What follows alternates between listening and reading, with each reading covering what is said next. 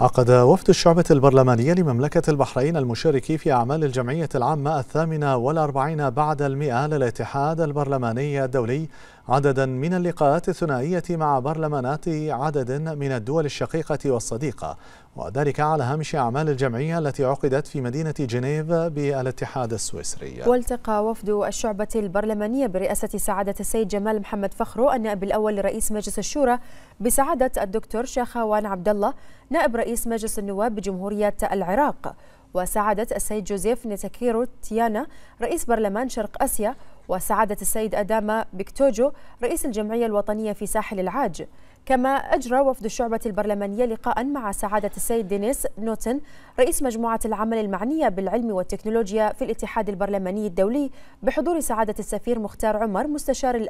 الأمين العام للاتحاد. وخلال اللقاءات الثنائية أكد وفد الشعبة البرلمانية لمملكة البحرين الحرص والاهتمام بمواصلة العمل على تعميق مجالات التعاون وتبادل الخبرات البرلمانية مع برلمانات الدول الشقيقة والصديقة بما يسهم في دعم ومساندة الموضوعات المشتركة والمصالح الثنائية بين مملكة البحرين ودول العالم.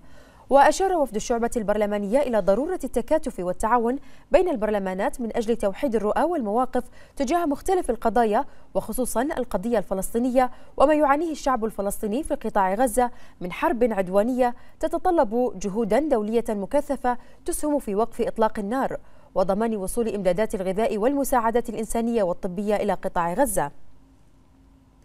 ونوه وفد الشعبة البرلمانية